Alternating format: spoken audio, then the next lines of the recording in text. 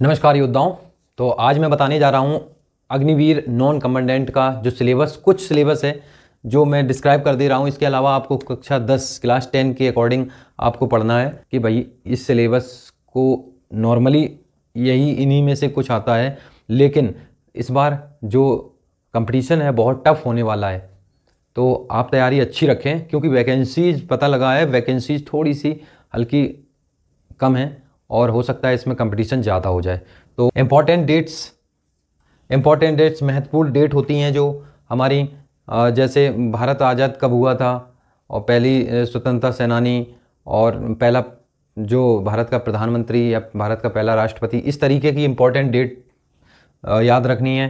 Famous place in India जो प्रसिद्ध हैं भारत में, जैसे लाल किला कहाँ है?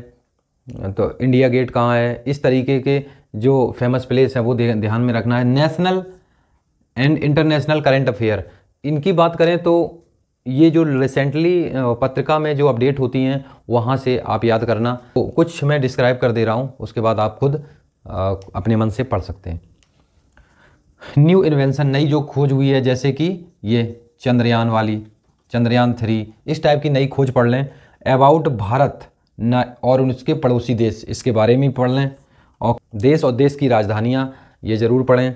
अभी हम इंग्लिश में बात करें तो मुहावरे error spotting reading comprehension one word substitution para jumble और preposition grammar sentence rearrange blank space खाली स्थान भरो वोकेबलरी में जो भी मीनिंग्स हैं। और एक्टिव पैसिव और डायरेक्ट इनडायरेक्ट तो ये सारी चीज़ें आप रट लेना और पढ़ लेना। वैसे तो आप लोग पढ़े होंगे। और इसके अलावा मैं कुछ बता नहीं सकूँगा क्योंकि भाई ये कंपटीशन का, कोई भी एग्ज़ाम है कंपटीशन का जब कम सीटें होती हैं ना तो कंपटीशन बहुत ज़्यादा बढ़ जाता है।